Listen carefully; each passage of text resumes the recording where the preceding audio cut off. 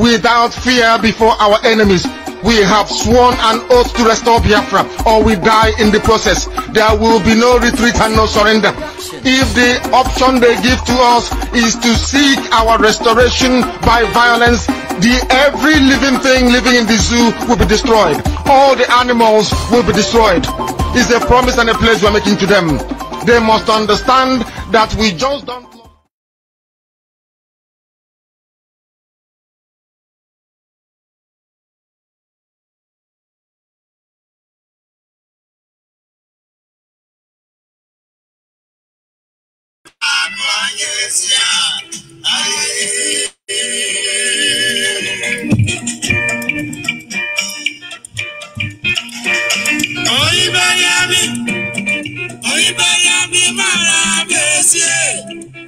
Oh,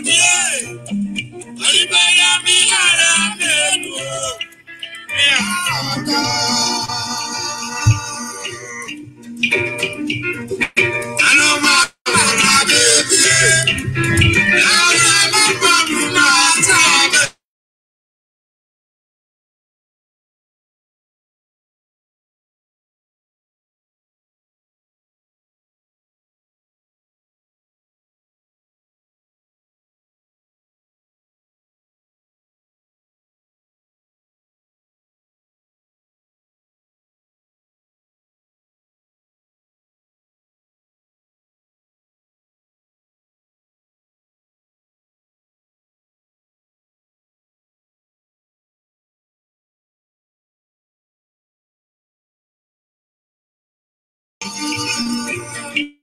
フフフフ。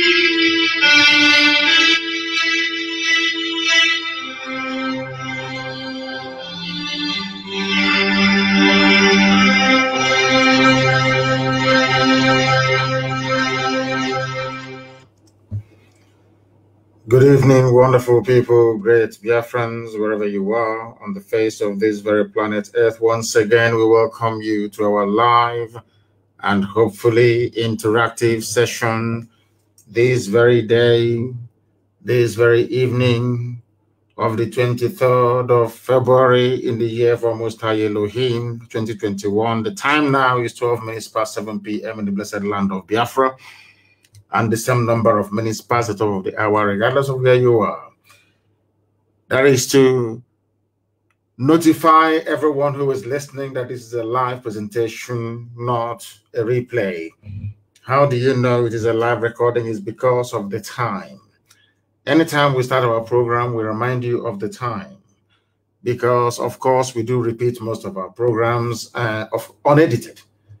So if you do listen to this program later on, if the time where you are is not 12 minutes past the top of the hour, then you know that you are listening to a repeat broadcast. I welcome each and every one of you, regardless of where you are. And as I welcome you, please allow me to also urge you to welcome all those who are around you.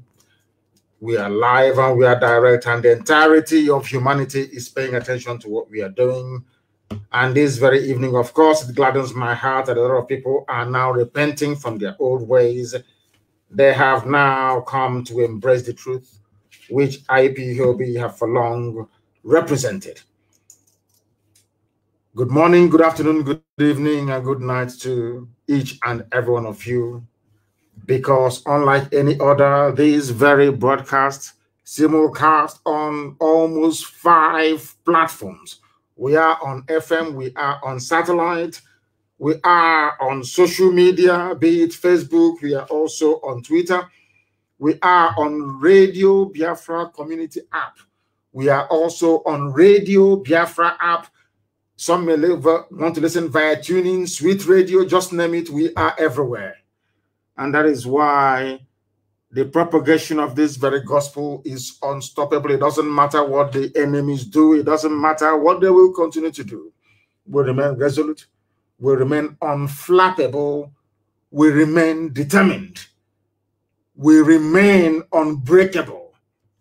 And that is why we do not retreat nor surrender. That is why today the philosophy of, of IPOB, this very ideology we have preached for years, is now holding sway right across length and breadth of the damnable zoological republic. As always, my name is Nnamdi Kanu. I am the leader of the indigenous people of Biafra, the director of Radio Biafra and Biafra Television, and by the very special grace of the Most High Elohim, a servant of the wonderful people of Biafra. I did promise you that I'll broadcast every two days because there is need for people that inhabit that damnable zoological republic to understand that their lives are in peril. And together we are going to do whatever it will take to ensure that we save as many souls as possible. That is why we are here.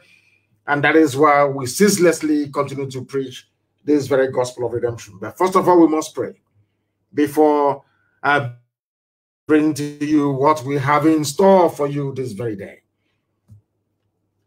And I will pray, of course, in the language of heaven. Also says na-agọzi aha nsọ ya mgbe niile.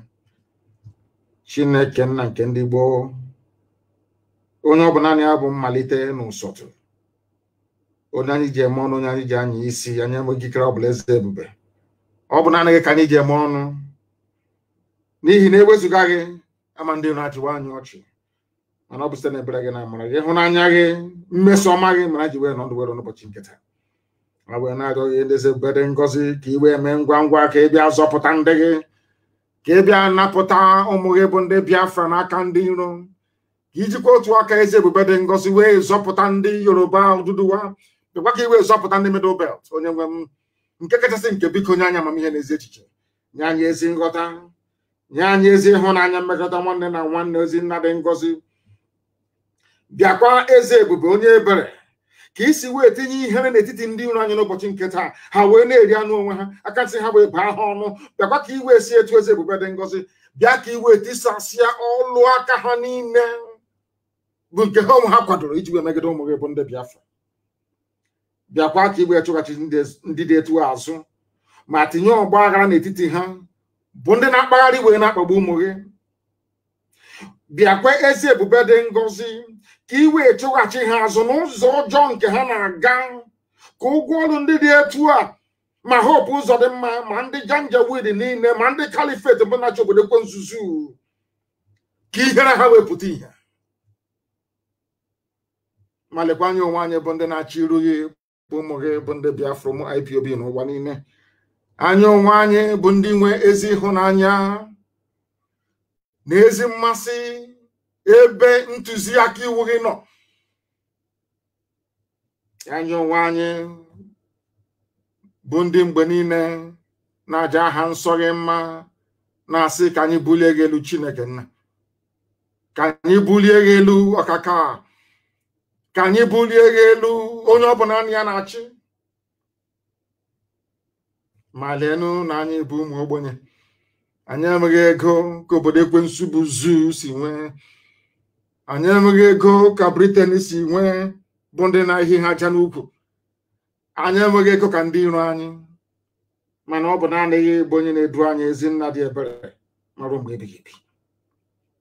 N'ihi na ọ bụ n'ime gị ka anyị gbabaworo nna nke igwe wee na-arịọ nchekwa gị. N'ihi na ọ bụ naanị gị bụ onye enyemaka ụmụ Biafra ọ bụ naanị gị bụ onye nzọpụta. Ọ bụ naanị gị ka a na-etu Elohim Adonai El Shaddai Chukwu okike abịa mapụrụ m ihe niile. Biko nụ bịa ka ime ọsọ ọsọ wee napụta ụmụ gị na abụ ọjọọ nke Britain kebara ha n'ime ya. Ka ọ ga-abụ na ikpetamazụ na Biafra ga-abịa. Eluigwe n'ụwa ga-agba akaebe ịhụnanya gị n'ime ndụ ụmụ gị. Anyị ga-asị na ọ bụ naanị gị bụ Chineke nna bụ na-ekwesị ntụkwasị obi. Kwere n'ihi Biafra ụwa niile ga-echigheta azụ wee maa na ọ bụ naanị gị bụ onye na-eme amara otuto na nsọpụrụ na ịja mma dịrị sọsọ aha nsọ gị. Onye kere ihe niile kere eke mana onwe onye kere ya. Ugbu a ma ruo mgbe niile ebighị ebi ka anyị na-arịọ gị. Ise ise ise we must pray in the language of heaven because that is the same language that the angels are using when they bow before the throne of the Almighty in heaven. We are going to preach this gospel today. As you may have noticed, my voice is very calm. I want you to get your pen and paper ready. Abandon every vestige of greed, envy, and jealousy. That's your I too know brain. I know everything. Put it to one side for the next hour or two.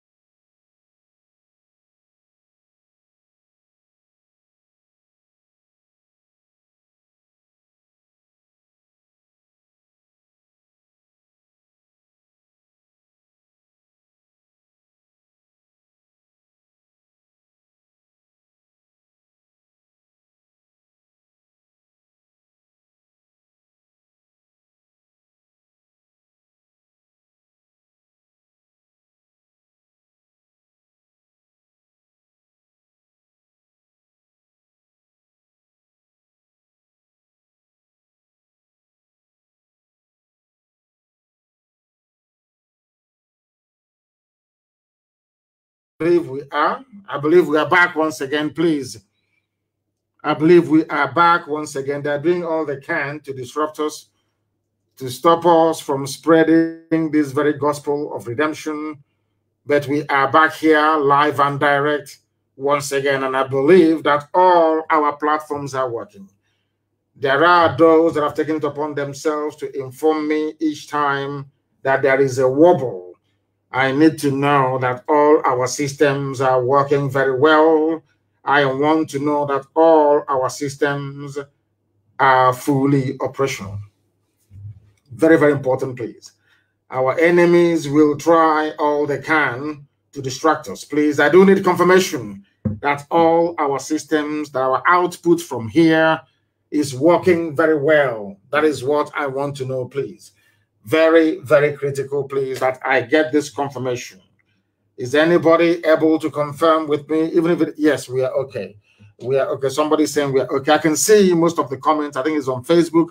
And um, Natubugo is listening to us on Twitter via my Twitter handle at Mazi Nnamdi Kanu. Uh, yes, they, I don't know if they have fixed it. I, I don't. I have. We have fixed it, of course. Here, yes, they can now hear me. It is now working. Thank you very much, NDBC. Thank you very much, all of you. Uh, Sunkem, thank you very very much. Chieme Okoro said yes, that it is now working. It is now working. So we are live and we are direct. Once again, it is very clear, and the whole world. They don't want me to preach this gospel because they know what it contains. I call it the, the end of discussion. After this very program this evening, people will begin to have a more deeper appreciation of the enormity of the task that is before us and what we are doing to rectify the uselessness that Nigeria has become. We must preach. First of all, this very evening, morning, afternoon, or night, depending on where you are, there is no country, nation, or geopolitical space on this earth where a black man is in control of his life, talk less of his destiny. I want you to write this thing I'm saying down, please. Very, very critical. You write it down because what we are going to do, as always, is to try to build a very necessary preamble, lay the foundation upon which we are going to rest our lecture this very evening this very gospel from heaven. I repeat, and I'm saying there is no country or nation on this very earth where a black man is in control of his life, talk less of his destiny. I know some of you may mention Barack Obama, that he was the president of the USA, but during Obama's reign in the USA, black people were more disadvantaged than at any time in US history. Had Obama's reign in America, or should I say his presidency, being a success, you won't have issues like Black Lives Matter. Black Lives Matter because racist, white police people in America we are slaughtering blacks at will. That is after a black man had become the president of the United States of America. Why I'm saying that is for you to grasp the essence of the point that I'm trying to make. That there is no country, nation, or geopolitical space on this very earth where a black man is in control of his life. And I'll bring that to the zoo very, very shortly.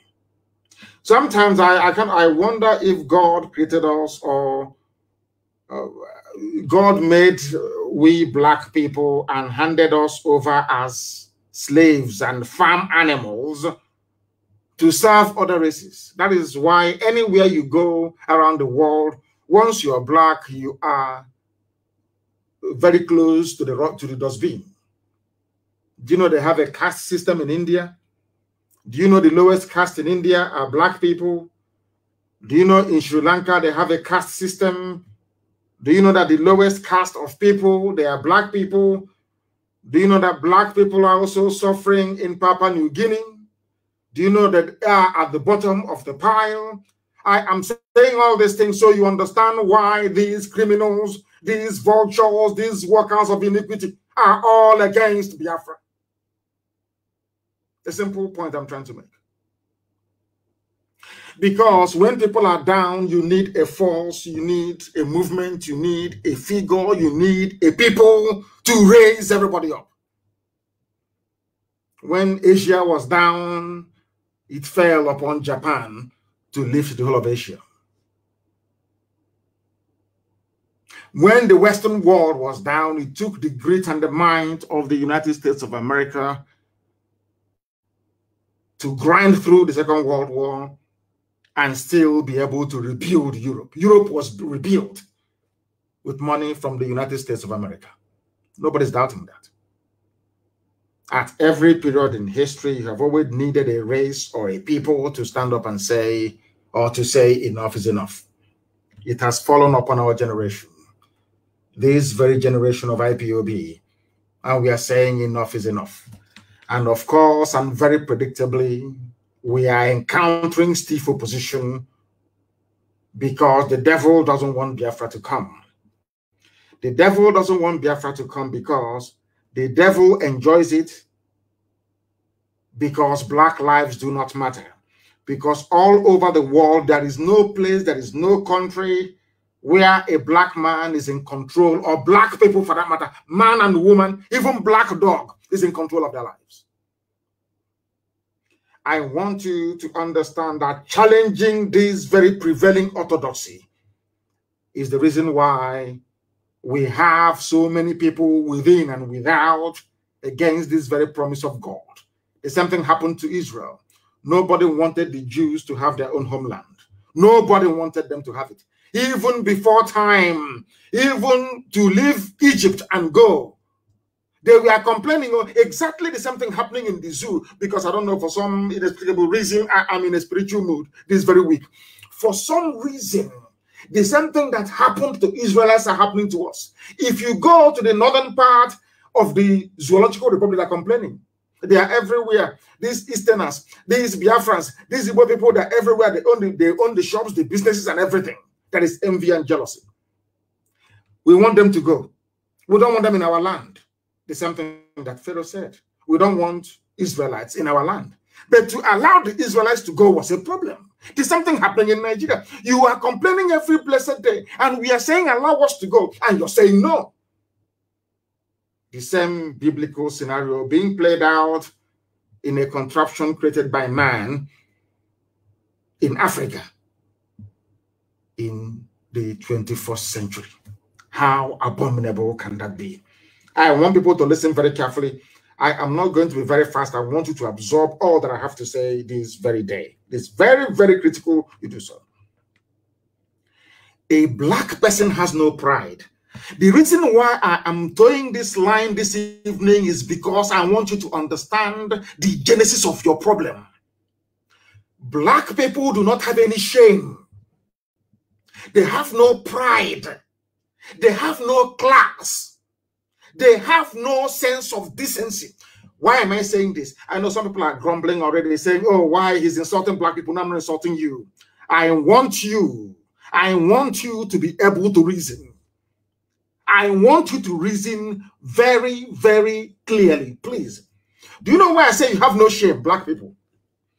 If you had any shame at all, there is no way any white man can travel up to 4,000 miles and come to your land and take away your name and give you his own name. Do you want me to repeat what I said? Let me tell you why black people are suffering, why we are the lowest of the low, why anywhere we are in the world, people treat us as if we're trash, basically. It's because we have no regard for ourselves. We have no pride. We have no honor. We have no dignity. Can you tell me why any sensible black person, any sensible human being would call himself a Nigerian? Can somebody please explain that to me? Did you create Nigeria? The answer is no. And now, the other uh, part of the coin is can you go the person that came and created nigeria can you go to his village and create uh, let's say uh, oduduwa or hausa in that place? The answer is no. They came to our land. They took away the name Iguocha. They named it Port Harcourt. Some of you are shouting for every day Port Harcourt, Port Harcourt. And I'm asking you, look at yourselves and what you're doing. Do you think you have any shame in you at all? Because if you had any shame, if you had any honor, you would have done at least what the Indians did. They changed all the names back to what they were before the white man came. And do you think you can go to Liverpool and rename that very beautiful city of Liverpool into anything else from Africa? Do you think the people of Liverpool will even listen to you? They will see you as a madman. Now I'm asking you, why should we in Africa accept it? Somebody will travel for thousands of miles, come into your land and tell you that your ancestors, your grandfather, your great grandfather, your great great great grandfather, that they had no history. In one stroke of the pen, your life all of a sudden started in 1960. In 1960, eh, your essence as a human being started. Tell me any sensible country in the world where the president is older than the country itself. And then the, the sensible question that any right thinking human being should ask is this What was my history before the creation of this thing you now say is my history? Simple research we do not do.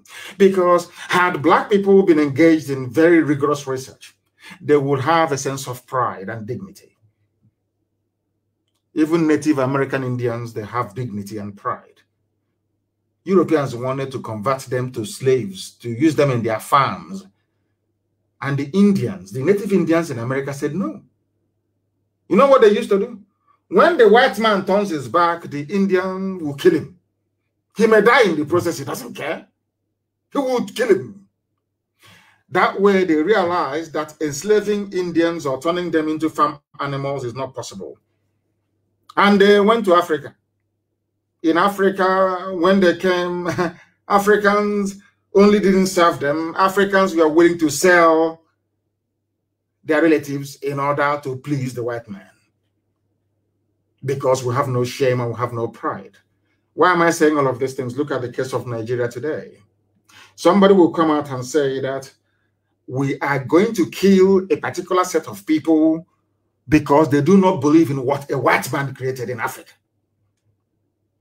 In essence, that is what Lai Mohammed and the bandit sheikh is saying.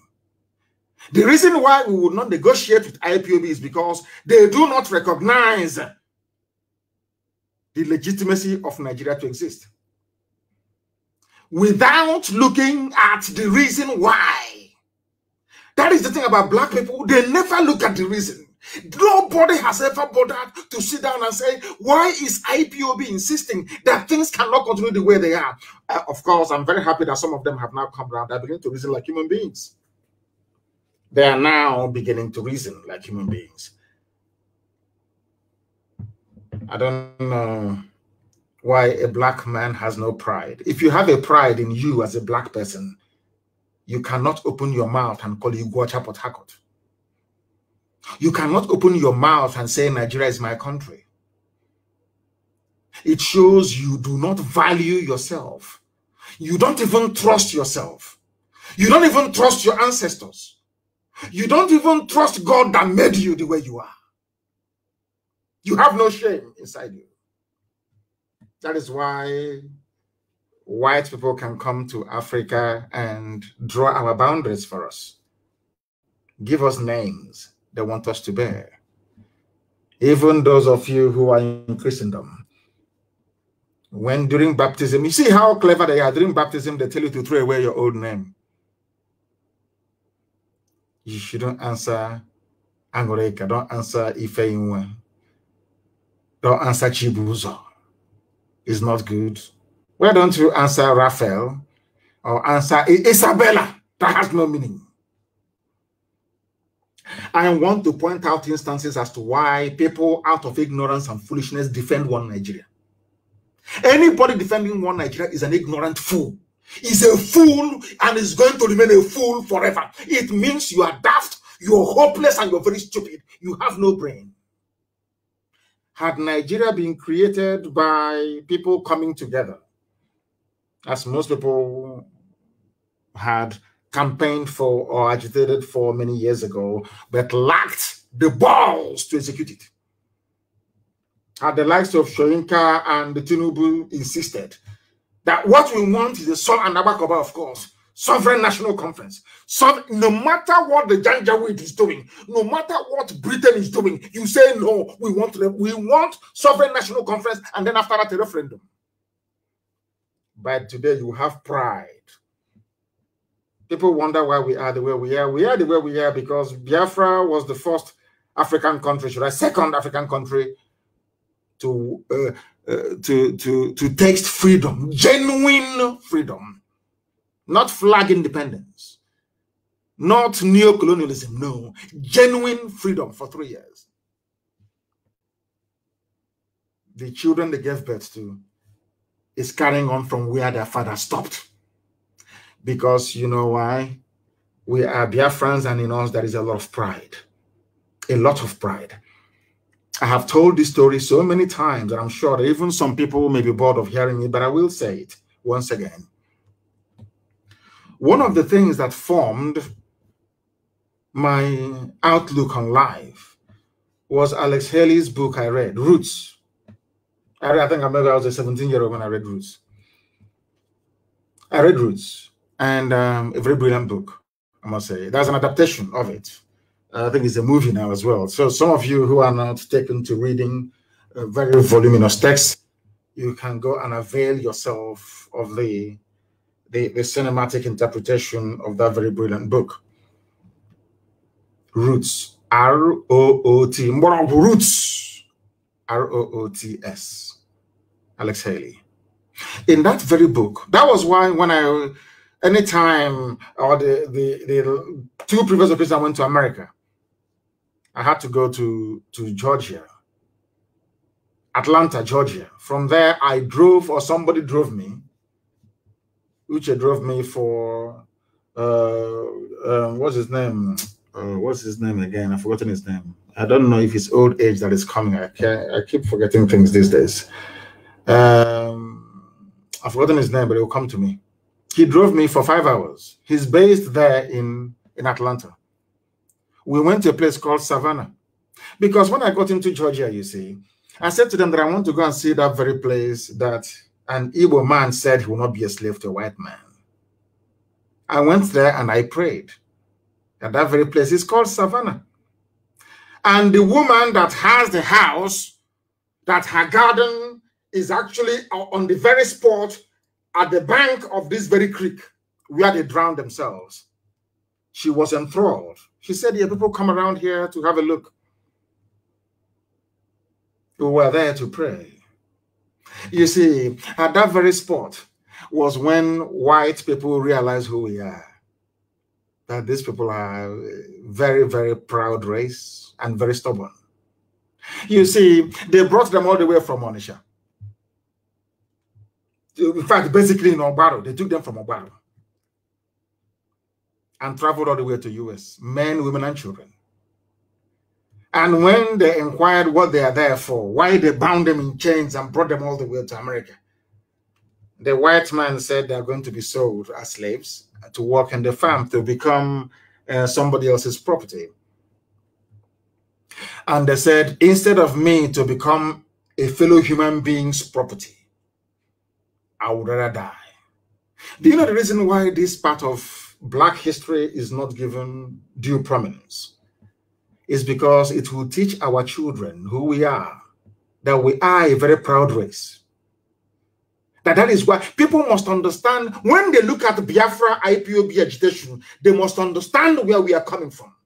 You may, if you are another race, you may be comfortable with being a slave. That is your business. But where we come from, in the land, the, the original land of the free, where God Almighty in heaven is the king. Biafra was a kingdom where only God in heaven is the king. That all men are born equal before God and fellow men. We gave the world democracy. Biafra gave the world democracy before the Great came. Don't take it from me, take it from the white people teaching it in the universities. In Argentina, that is what they teach. It's a fact. That is why they don't want Biafra to come. Because you are the light of the black race. That is why Janjaweed can't understand us because their reasoning is too low and is too poor. They know nothing. They know absolutely nothing. They don't know. When you see us agitate for Biafra, you kill us, you, keep, you don't know what is driving us. Do you think we are doing this thing out of our own? What, what we are doing is of the spirit. You can, unless you are in the spirit, you can't understand it. If you're a zoo animal, you cannot understand the Biafran. You can never do. Never in your life.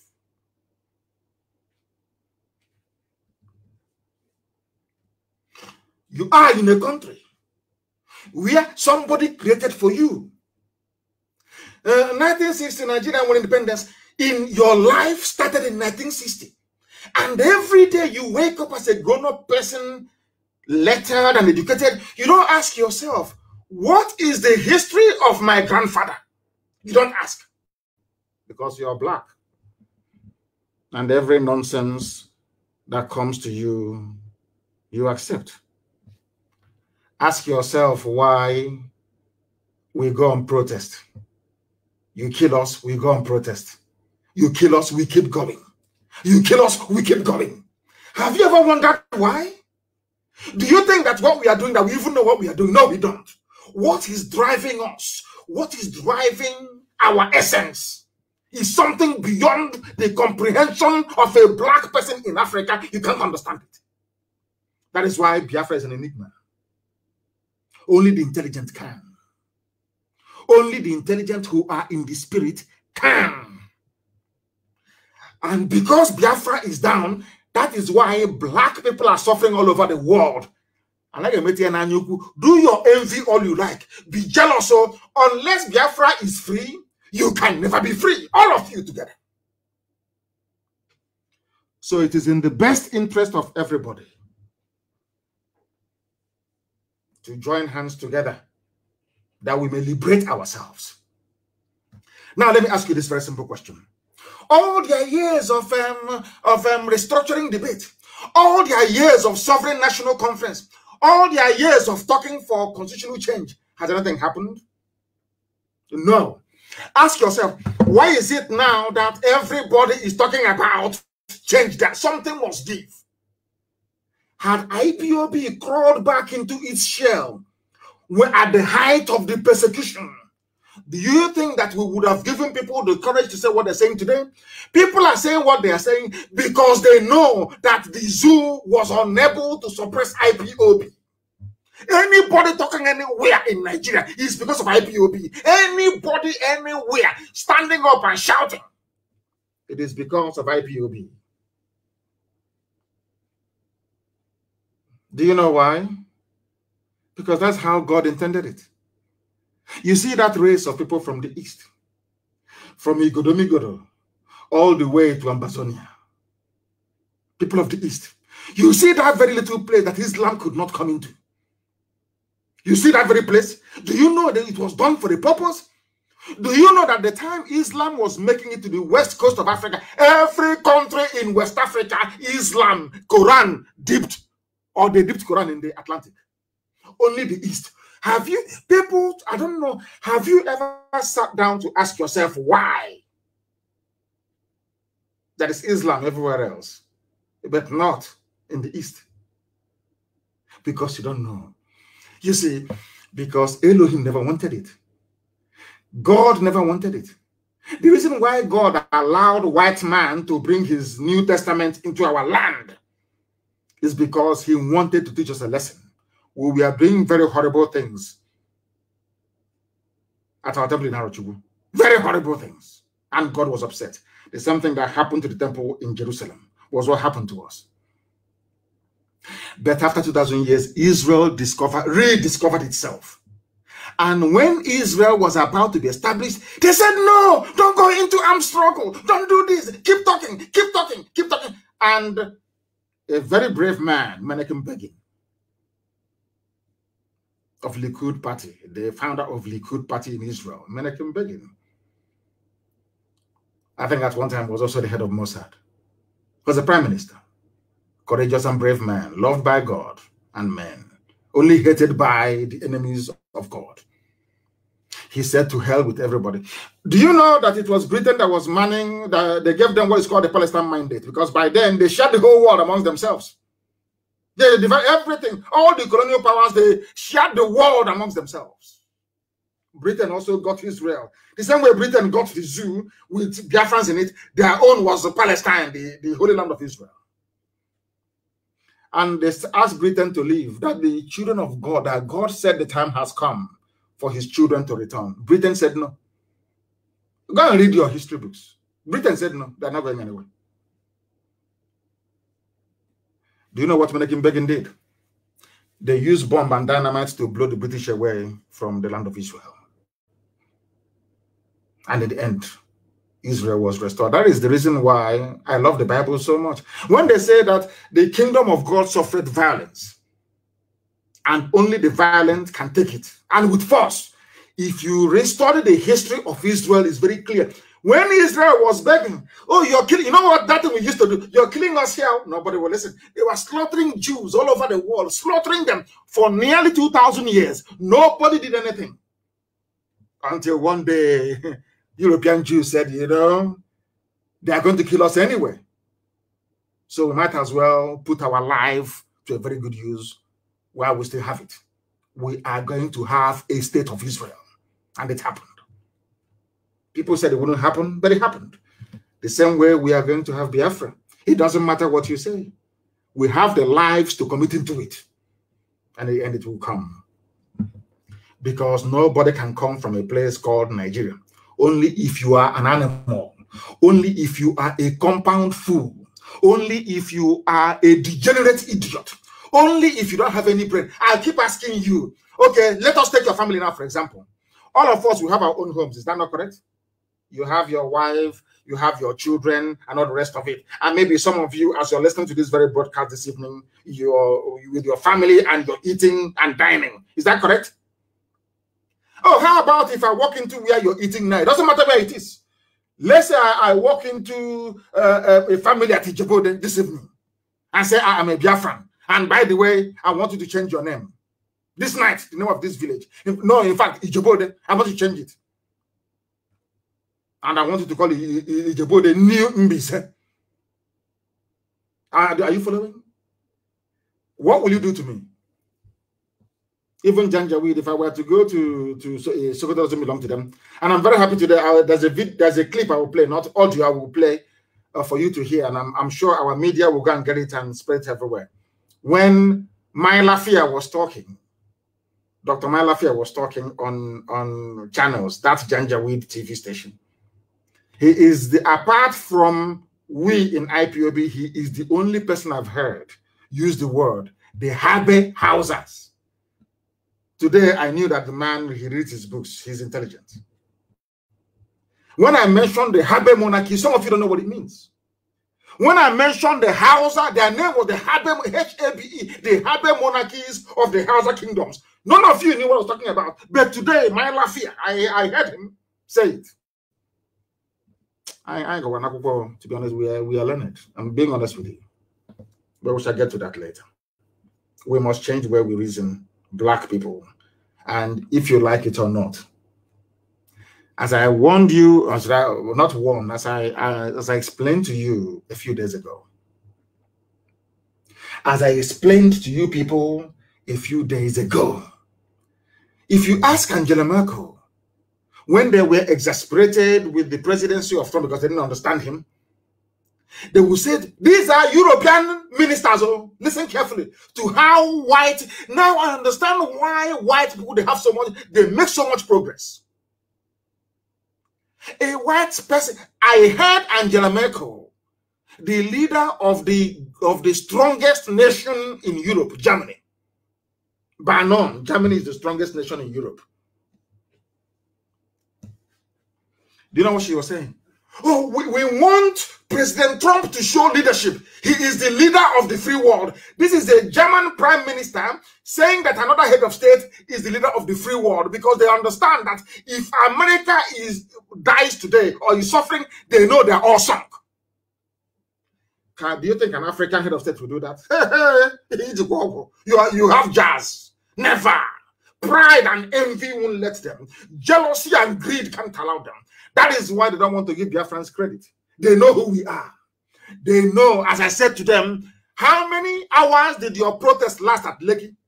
Not up to five minutes. Eh, eh, they vacuum swept all of you inside Black Maria, and the protest is over because I did not bring out IPOB. I did not bring out Biafrans in Lagos. Had I given the order, come out for protest by today, the protest, the protest will still be on. It is nobody's fault. That is how God made us. It is not, I am not bigoted. It is not about ethnic jingoism. It is not about a sense of racism. That is all rubbish. But the creation as we know it started in my land. Creation, God Almighty in heaven chose Biafra land as the center of this very earth. Zero longitude and zero latitude. Go and check your geography textbooks. Zero latitude and zero longitude, where sunlight meets darkness. The center of this very earth is in Biafra land. That is why Britain created uh, uh, uh, Greenwich Mean Time, moved it one hour to the left. Who doesn't know that? That is why they're afraid of us. That is why they cannot get any conviction in any court in the world. That is why they're even afraid of us, of trying us in their own courts. That is the reason why we are as formidable as we are. But the devil will try. The Gwensu will try. As they did against the emergence of the glorious state of Israel. They will try, but they will fail in the end because we represent the light. Do you know that darkness has no power? You see darkness. You see, darkness has nothing feeding it. I want you to understand and, and relate this very analogy to the zoo called Nigeria. You see darkness, or actually darkness. You know when NEPA takes light, there is darkness everywhere. That darkness has no power. Darkness is only acting because there is no light. Once light comes, it disappears. And it can never come. As long as that light is on, darkness will never come close. Never, ever, ever. It can never come close. Have you uh, do a simple experiment? Because you see, darkness, you know, when you're going out at night and there is no light, there is darkness everywhere, is because there is darkness in nature. It nothing is fueling it. There is no uh, uh, generator generating darkness. No, it's there, just there. Like Lucifer. Once you see, for you to defeat darkness, you need to generate electricity or light. And to generate light takes energy. You must do something. You can't keep quiet. You must do something. If you don't do something, you continue to live in darkness. So that time you put your the, the, the battery inside your torch and you on the torch. What happens? Darkness along that line flees. It can never come as long as your light is on. As long as your light bulb is on, there is no way darkness can come. But darkness, it doesn't cause darkness anything. Like a Fulani Janjaweed, it doesn't cause them anything to destroy. But to overpower them, you must come together. There must be synergy, there must be energy, there must be momentum. You have, must have that thrust. By thrust, I mean T H R U S T, not T R U S T. Now you understand me, don't you? Now you understand me, don't you? I insult black people because I want them to develop some sense. If, uh, begging them doesn't work. This is black. This but how can you explain to somebody who is a PhD holder, who is a professor, a professor who will open his mouth and call his land Port Harcourt? You're a professor of maybe nuclear science. That means you have no shame and you have no pride. We we we all mask our collective impotence. You know, we are very, blacks are very important. Especially when you go onto Facebook and see the, the wish you, when we are arguing about separation and freedom, many years ago, some idiots are talking rubbish. Nigeria, one Nigeria, patriotic Nigeria. Look at the idiot. Patriotic who? You mean patriotic product of Frederick Lugard? Nobody is a Nigerian. You dimwits, you morons. No human being is a Nigerian. That is how daft you people are. The sooner you search for salvation under your ethnic identity or nationality, the better for you. Shameless people. Who is a Nigerian? Let me ask you. Who? Is it the one from, from Mali with AK-47 somewhere in, in Minna, raping and killing people? People without a, a, a, a collection of people without honor or shame. God have mercy on your ignorance and the wretchedness of it. We love to mask our collective impotence by seeking solace in English language. That most of us don't even know. You see one idiot writing, eh, say, also oh, oh, oh, you writing grammar. Ask him to explain that grammar he doesn't know. He doesn't know what he's writing.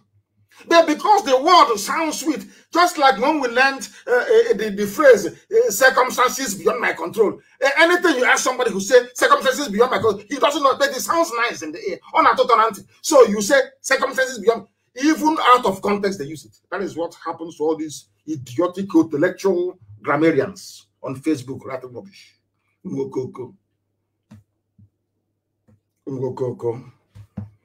Now listen.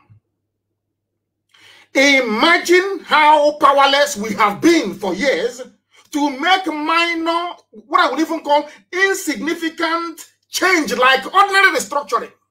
Ask yourself this question. What would it cost for Fulani to restructure Nothing. No, it doesn't. Nothing. Those championing restructuring did not say let's break Nigeria. No. They said let's make things better. Somebody somewhere said no. Go through your senators because they know they have the numerical strength to frustrate whatever motion or bill that you have on the floor of both the House of Reps and of the Senate. And somebody who is so blatantly disadvantaged will rise up in the morning and tell you he's a proud Nigerian. I want to, I want to, I want to, to demolish these, these, these in intellectual Lilliputs. Let me put it that way. They're minions. They are nothing. They hide under grammar. They spend four days. Uh, they go to the dictionary, cramming every rubbish. They come on the right junk because they are inferior. Because you see, an Englishman speaks English. And uh, you know they, they, are so inferior that you, you have to write. You, you want to aspire to write like an Englishman, so you can perhaps acquire some of the aura of an English person so that your peers can respect you.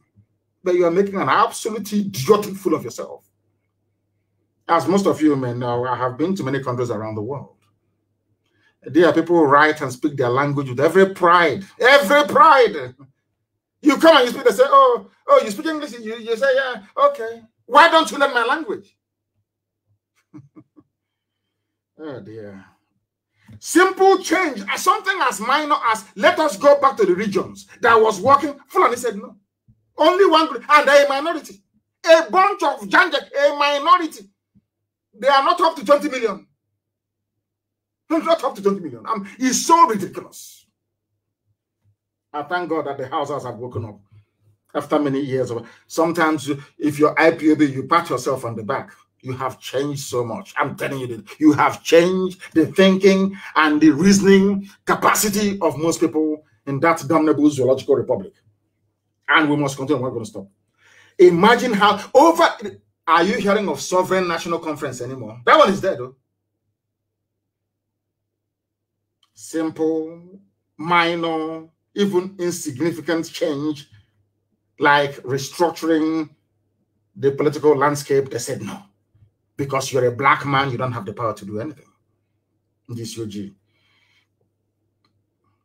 Something that should help move a country forward.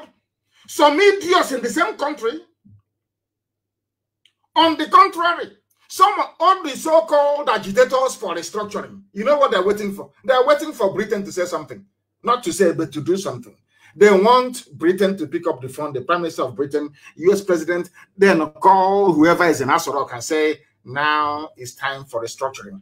And you know where they got that nonsense from. It was during Abacha's time. None of you were able to remove Abacha. He was a very deadly dictator, a very brutal one for that matter. Abacha was killing left, right, and center. Yet in Kano, there is Sani Abacha Stadium. Uh, somebody who is acknowledged to be a mass murderer. The same thing they did with the regime, the murderous regime of Abacha, is what they are doing with Fulani headsmen, Miyetti Allah, killers and murderers. They always defend their own. And somebody was, I, I remember in those days, uh, uh, they said uh, their zoo national team, Green Eagles, were going to play as Super Eagle. I don't know what eagle they are now. Or maybe Dark Eagle or White Eagle, I don't know. That they were going to play football match in Kano at a place called Sani Abacha Stadium. And I think I remember the white commentator saying, Come on, Sani Abacha Stadium? Was that not the dictator? hey, Shem left everybody and was doing me. He had a happen now, like them. Left everybody and was holding me. Now you understand it, don't you? The same way they are defending. Is it not Buhari, the dead one, or the real Buhari? When that dead Buhari was, do you remember when Buhari said that Abacha did not loot any money? Have you all forgotten? One Nigerians. You see the way you reason? That is why I feel sorry for all of you. You one Nigerians. Your stupidity cannot be weighed on a scale. Your idiocy is legendary. I'm telling you. Sani Abacha Stadium. And they said uh, Abacha did not steal anything. Hiding under English. It's common destruction you cannot do. Ordinary, everybody agrees it may help. You cannot effect, you cannot do it because you're waiting for a white EU, white America, white Canada, white everywhere to do it for you. Because it was America that killed Abacha, not you. You are impotent and you're powerless. And it wasn't Africans that got independence for Africa. It was the United States of America warning Britain and the whole of Europe to get away from Africa. That was what happened right after the Second World War. Anybody telling you that they fought and they got uh, uh, their, their, their flag independence is a liar and is a deceiver. Do you understand? I think it was Harry Truman that said to Europe, oh, enough of that rubbish, that useless colony you have in Africa, get out! And they went out. The same thing happened during the Suez Canal crisis. Some of you may not know because maybe too young or you are ahistorical because you don't read books. There was a very brave, young military officer in Egypt called Gamal Abdel Nasser. And he killed, what's his name again? He killed the very moderate Egyptian prime minister, or, or, they said he was killed by the um, um, what's it called Islamic Brotherhood. He assumed power. Britain left Britain. Oh. They want to come to Africa to be collecting toll, toll gate, checkpoint. They set up checkpoint oh, as Suez because it's far more easier, like the Panama Canal, far more easier for ships to use the Mediterranean Sea to cross through the Suez Canal into the Arabian Gulf. Is that is that is it a Gulf of Aden or is it Arabian Gulf? One of the two the Arabian Gulf. As they call it Gulf of Aden. Because that way the ships, rather than going through South Africa, the Cape of Good Hope, and coming back up again via the Indian Ocean, a very long journey, you cut that journey short by taking a shortcut. Britain built a, a toll gate in Africa. When Nasser came in, Nasser said, you cannot come here and be collecting money, tax on my father's land. You have to go. Britain said no. Nasser took it over by force. I think it was Prime Minister Eden in England, in Britain, that sent British expeditionary force to go and retake Suez Canal that doesn't belong to Britain by force. The Suez Canal Company. They went into Suez Canal after two or three days. Uh, Eden got a phone call from the US president in no uncertain terms, told him to get away from there. It's not yours. That was how Britain withdrew. Because Britain listened to USA. Because USA take care of British interest as well. Now, do you understand how they play this politics? Do you understand it? in your own land, you, you cannot even bring about a simple change. Ordinary, ordinary restructuring, not even freedom. Ordinary restructuring you cannot do.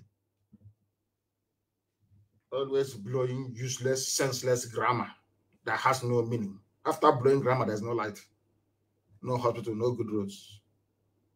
After blowing grammar and putting on tie in the in the middle of the afternoon, also swallow sui, and I was so speaking grammar all the time, and nothing is happening intellectuals everywhere. We mask our collective impotence by seeking solace in, in English language we don't even understand, most of us. Are always waiting for white people. We are not going to wait anymore. We are better off dead now. Okay, what are we doing with life? This stupid, useless life. A life where somebody can come from, from Mali with AK-47 and go to Zombe and decide to rape a grandmother. After raping the grandmother, you said they are, they are my misunderstood. You misunderstood them. They are my brothers. Uh, according to Sheikh Gumi, is that the type of country you want me to be in? Are, are you mad? Are you are, are you sure you are you sure you're well? Are you sure you are well? Are you sure you are well? Oh, Intellectuals everywhere. But now they have come back to that. Most of them have come back to the senses. we, we need to get off our lazy asses to make lives better for ourselves by seeking freedom for everybody. I said mass over overdose of freedom. Freedom is like vitamin C. In actual fact, it has no overdose. More freedom is better for everybody. And that is the freedom that we are seeking for. For everybody, for every dick, every thumb, every, everybody must be free. Everybody must be free uh, they caged you in the zoo, treating you like animal, the same way they treated your fathers, they're treating you, and you take you take it. All you do is you complain, you mourn, and you go back and you sleep. Not in IPOB, we don't do that rubbish. Look at how successive governments in Nigeria adopted what I call the pauperization. I want to get it so people. You know, when you turn somebody into a pauper, into a very poor, wretched soul, I call it the, the pauperization philosophy of the Fulani Janjaweed. You know what they do in their feudal system? They, they, they become wealthy by impoverishing everybody else. You have to be poor. Only their children will go to school. Only them will have houses in Dubai. The ordinary Hausa man on the street is doing Babial with no hope for his children. But the even even Fulanis are suffering. Oh, it's only the feudal lords, the half-educated, semi-literate feudal lords of the Fulani, they brought in that mentality. Some of you don't know why you don't have light in Nigeria. I, some, sometimes I look at it and I laugh. A country that has coal, abundance of it, you have wall-to-wall sunshine every blessed day. You have tidal waves along the coastal lines. You have dams, you built dams, yes? You have gas. Let me repeat, you can generate electricity through thermal, which is coal, through gas, through wind, through waves, you know, sea waves, through um, hydroelectricity. All these things are in abundance. Some of you go to China, you see, they even make uh, uh, fake solar panels, and it works. A country of 200 million people cannot even utilize Kainji Dam that they built. A country of 200 million people cannot, they bring out gas from the ground. They ship this gas to Europe, to South America, to Asia. Those people, they have 24 hours electricity from the same gas that you're shipping from a Haji. But people on a Haji don't have any light. I don't know if you're, I don't, I don't know if I'm making sense. If people can understand what I'm saying. It's a lecture. People in faraway Japan that has nothing they have light. People in Enugu that has coal under them, as you're walking in Enugu, it's all coal under you. They have no electricity. do you see? Do you see how stupid black people are?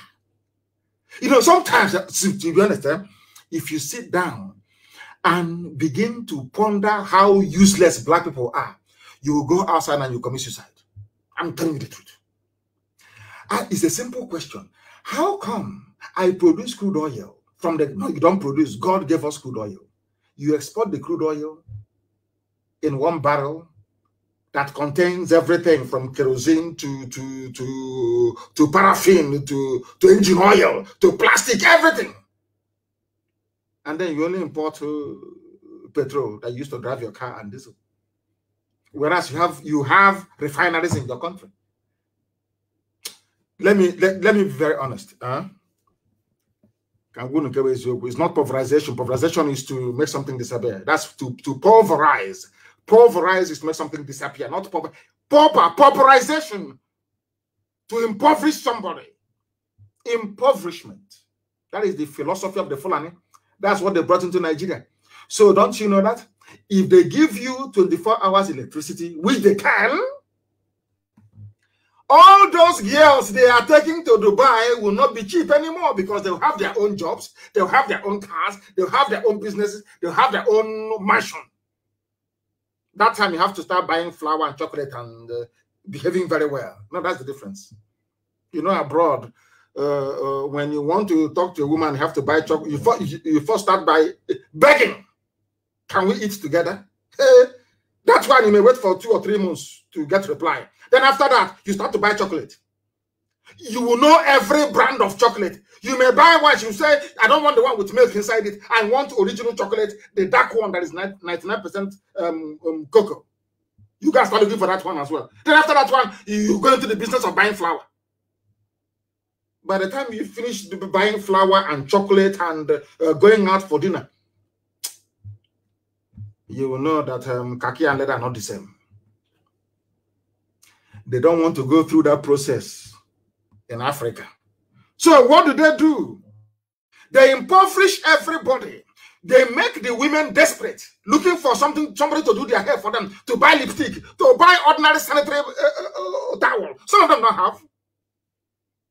Then now that makes them very cheap. Now, do you see why they're doing it?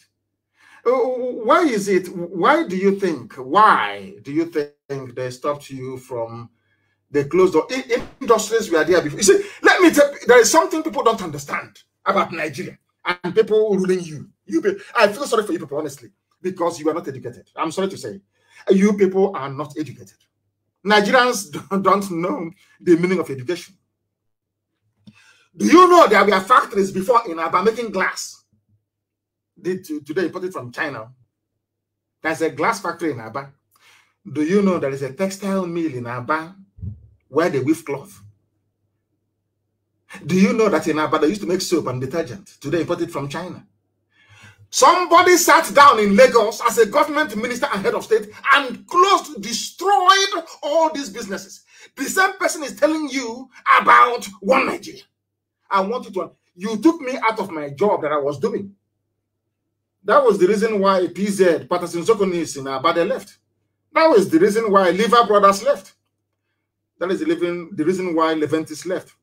Some of you may remember Leonard Shoes in Aba, even in Umuahia. You may remember Bata Shoes in Aba, even in Umuahia. In Umuahia, we had ceramics. We had Golden Guinea. Uncles we were working there. Aunties we were working there. Economy was very good. Nobody was complaining. Nobody was begging. All of a sudden, one single day, one idiot from Abuja and Lagos decided, let's make their life difficult. Ceramics was shut down. Golden Guinea has shut down. Olon Nampam plantation shut down. Glass factory in Aba is no longer working. And you know, the, let me tell you how evil they are.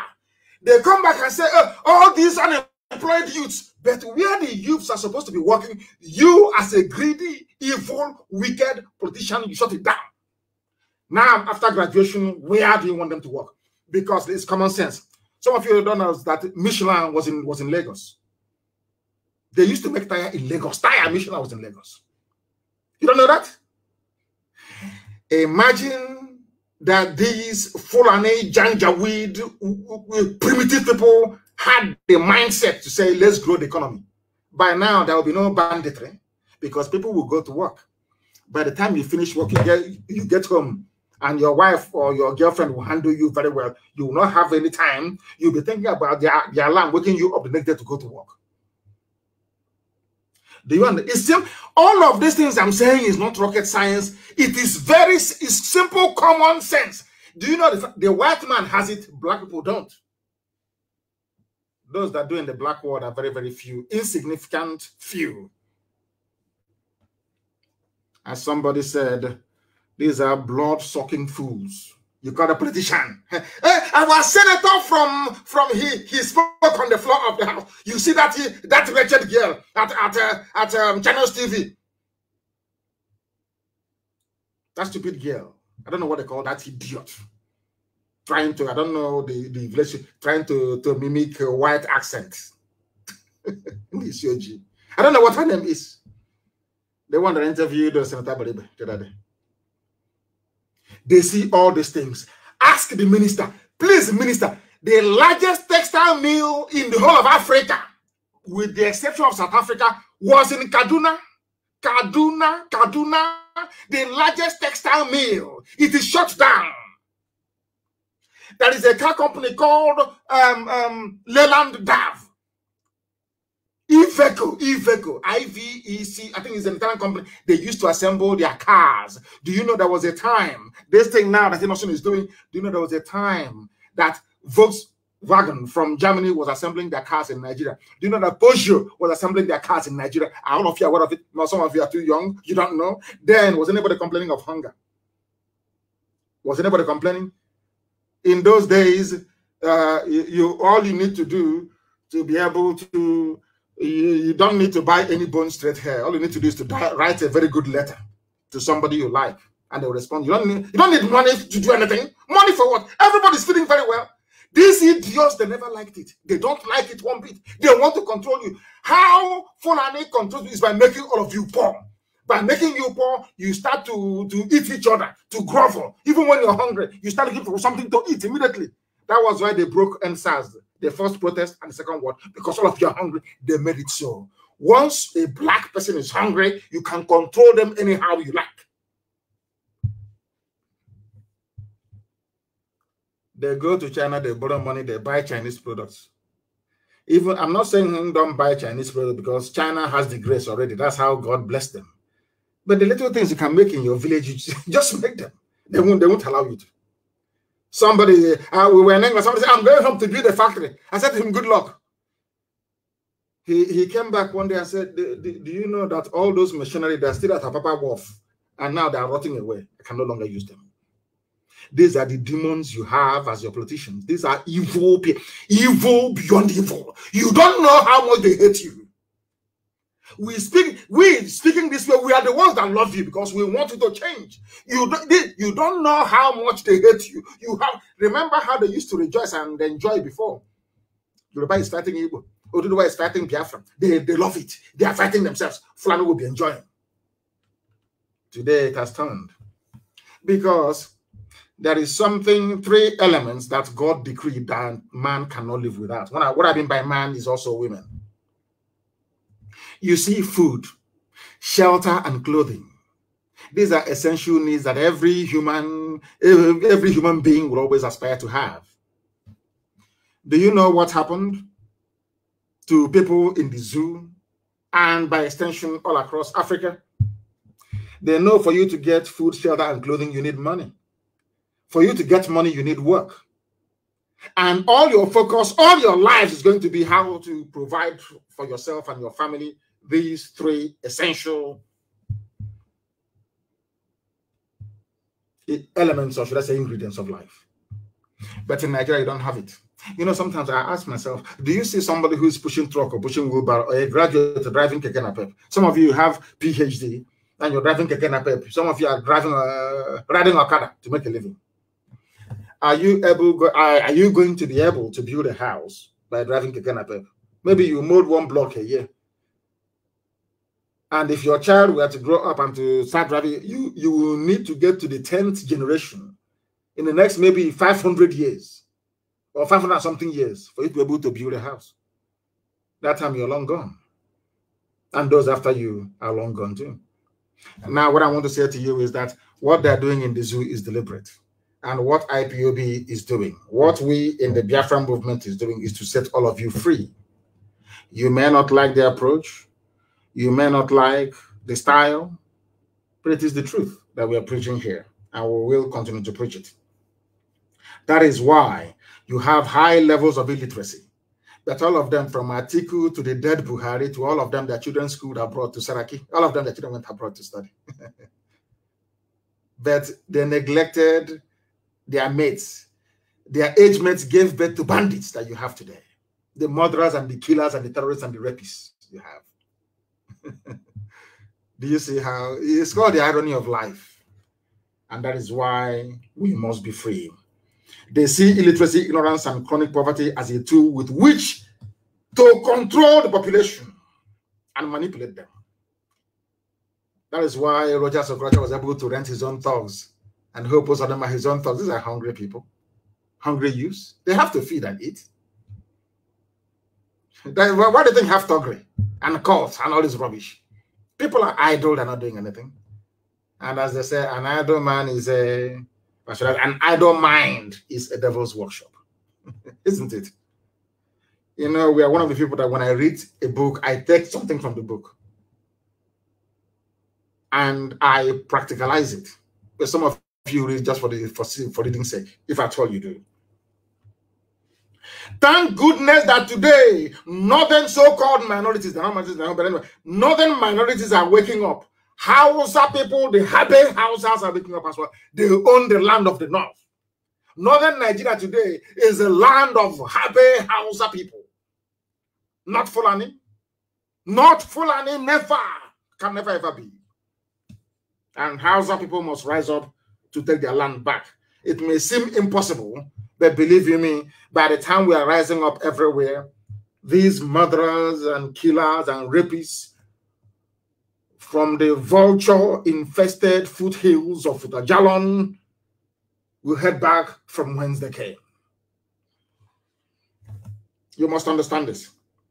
How is it that 200 million people cannot effect a change against an oppressive gang of people, uh, 2,000 lunatics, calling themselves politicians? Are up to 2,000? No, they're not. And they're back up. Let, us give them credit. Let's round it up to 20,000 people. 20,000 people oppressing 200 million people. reminds me of how white people came into Africa with only 20 men and conquered all of us. Look at where we are today. And we allow these 20,000 people every blessed day to be ruining our lives. They, they, why, is, why do you think that politicians own newspapers in the zoo? Name one independent publisher you have in Nigeria. They're all financed by politicians because they want to keep you locked down in your ignorance and your perpetual cycle of poverty and deprivation. It's time for these 200 million people to rise against the wicked 20,000. Wicked and evil. These are people at home. They are evil people. Evil. Lunatics. And the funniest thing is, with the help of Britain, they dominate the political space. Ask yourself this question repeatedly until it sinks in into your black skull. Ask why is it that 200 people, 200 million people are so docile, so docile and imbecilic that 20,000 tell them, uh, telling you uh, when to the structure, when not to the structure. Who told you that? A republic means a nation run according to the will or dictates of the public, of the people. That is the, some of you don't even know of republic. Anyway, you have His Royal Highness in a republic. oh God, what a contradiction! What a con! I am happy that today our own intellectuals are now beginning to see the right, the, the light, of course. Before they were in darkness, they are now in the light. As we have, as we have always said to you, we in IPOB, we are the children of light. We represent light in here light. Now people are coming from darkness into the light. And why am I saying this? The rate at which Efulefus are repenting these days, I see them, some of them on social media, some of them are asking me for forgiveness. I'm just happy. You know what they say? When one person repents, there is joy in heaven. All I have inside me is joy that people have now seen that thing that we saw many years ago the rate at which they're repenting these days. Some of them are, uh, people send me their write-ups, and I, am saying no. They say no, it's him. That intellectual, he has now uh, converted. He ha, he now has reason. or should I say reasoning capacity. The rate at which they are embracing the ideology of IPOB, you would think that rapture is about to happen, or that maybe that Jesus Christ has landed somewhere and uh, making his way to, to the zoo called Nigeria. And uh, following behind him is uh, Prophet Muhammad at the rate at which people are these days converting we have succeeded in resetting the minds and the brain of your average Nigerian. Everybody, go to the TV and the write off. Everybody now speaks like IPOB. Everybody, everything they're saying is now what IPOB used to say. This very indigenous people of Biafra, Chai, this noble family that never capitulated, they stayed strong immense. Despite the slaughter, slaughter after slaughter, they remained. That is why, for me, uh, uh, it may sound a bit incestuous, but for me, the only people that I have regard and respect for is IPOB, to be honest with you. The only people I have regard for is IPOB, nobody else. When other people were falling by the wayside, IPOB held on tenaciously and doggedly to this very ideology that separation is the best solution. People are now beginning to reason properly. And above all, they have now acquired the courage to speak out, and I welcome it. Somebody wrote a very compelling, a former intellectual. He wrote a very compelling article. I couldn't have written it myself. I couldn't have a very good argument, and I want to use it to drive home. Hey, two hours adịghị enough na abalị achọrọ m ikwu achọrọ achọrọ mgbasa ozi ọma I want to preach the gospel of heaven because you will see it happening gospel of heaven that's what I preach you as of course most of a very handful of you as uh, black people you will always find reason to be black in terms of your stupidity. But here, I don't have time for such. This very former intellectual wrote, United Kingdom, listen carefully, please, you Nigerian. I want to make an average Nigerian appear as stupid as he or she is. I want to use this article written by uh, a former Efulef, an intellectual, before castigating IPOB. He has repented. And I want to read for you what he wrote. To tell you that, as I always said, in the end, we always win. It doesn't matter what you do. We are we will wear you out in the end. You will see who Adama what happened to him. In the end, we win. Always we win. Now listen. United Kingdom, the people that created you, you Nigerians, your creator, God did not create you. Stop. Every Nigerian should stop saying God is my creator. God did not create you. I can tell you who created you. And at precise at the precise moment when she created you, I will say she, in this case, Flora Shaw. God did not create any Nigerian. The man that created you and the woman, they are both dead. That is why the zoo will die. United Kingdom was formed by the people of United Kingdom, not a foreigner. This intellectual rights.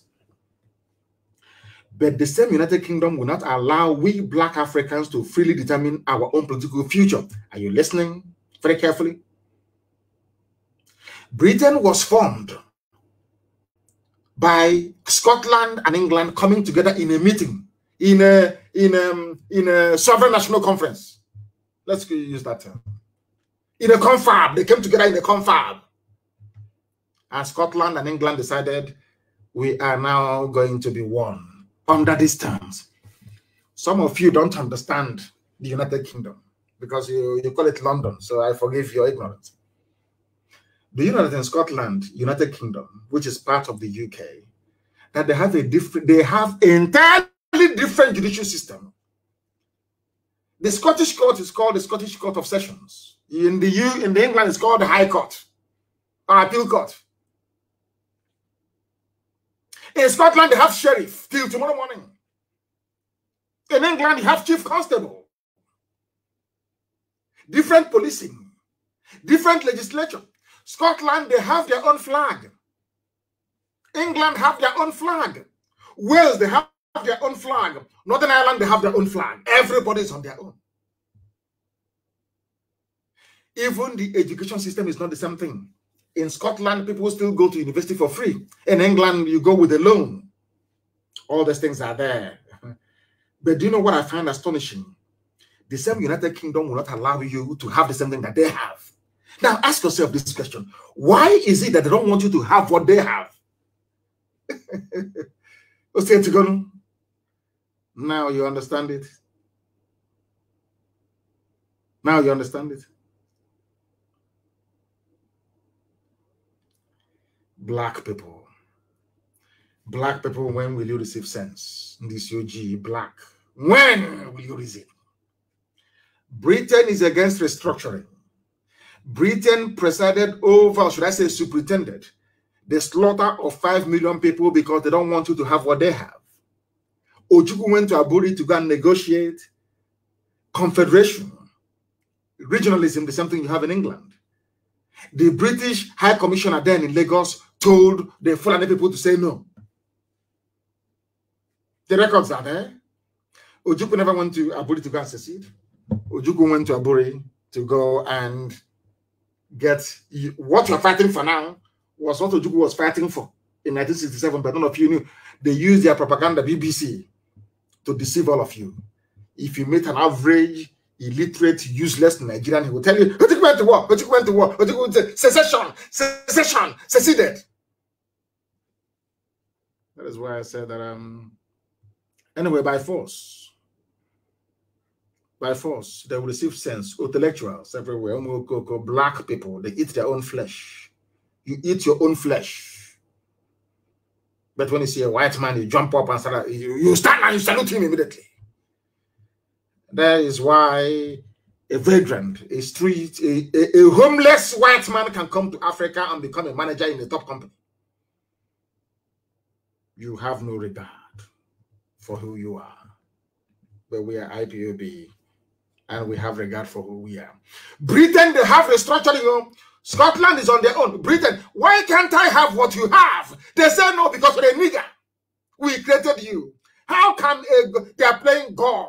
We created Nigeria. Every Nigerian is a British product. Some of you are like um, a factory product to them. You're like a factory product. And the worst factory product you can ever have is the one that doesn't know that he or she is a factory product. I'm very sad indeed. Britain, give us what you have. Common restructuring Britain will not allow us to have. This is what is called total control. They own you. Fulani are doing what they because Britain is behind them. Fulani can kill all of you. No, yeah, Britain will say it's farmer header clash, farmer header clash, farmer header clash. They are raping your mother. Fulani Janjaweed is on top of your mother with AK-47, raping her in front of you. You are calling the British High Commissioner. Come and it's farmer header clash. You are farmer header clashing on top of a woman. Is that is that farmer header clash? Is that farmer header clash? I ask of you. Black Africans, even the United Kingdom, have a better political prospect than those in Africa. This is the reality that we black people have failed to confront a black person in England, in the UK, has a better political future than a black person in his father's compound in Africa somewhere. The worst thing to ever happen to Nigeria is the primitive feudal mindset of the Fulani Janjaweed, aided and abetted by British neocolonialists.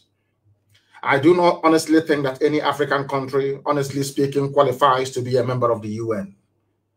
What we have in Africa are artificially created political enclaves under the domination of their colonial masters. It is called new colonialism. The brain of a black person is designed to engineer hardship. Why do you think they shut down all the factories? Why do you think there is no electricity? Because they want to make you poor. English, Scottish, Welsh, they came together in 1707 to form a union. They decided to call their new formed union Union Kingdom.